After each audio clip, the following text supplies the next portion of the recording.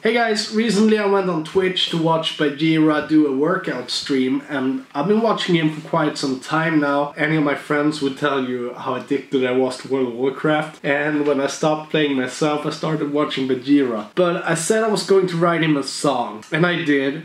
And then I got sick. I'm still sick, but I managed to pull through and get the vocals done. So, Bajheera, this one is for you. Thank you for entertaining us.